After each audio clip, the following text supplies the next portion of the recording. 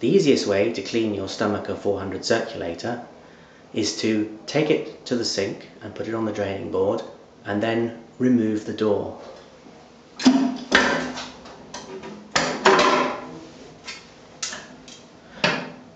Apply your disinfectant or cleaning solution generously inside the chamber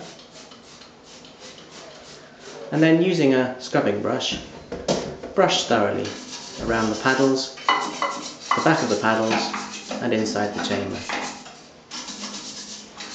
When you've thoroughly cleaned, rinse with fresh water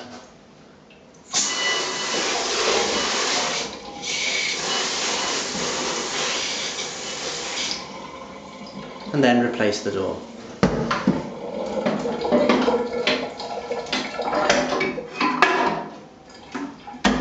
The machine is then ready for use.